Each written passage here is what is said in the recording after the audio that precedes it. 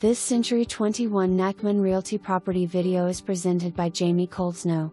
Well maintained condo with a first floor primary in highly desirable Kiln Creek.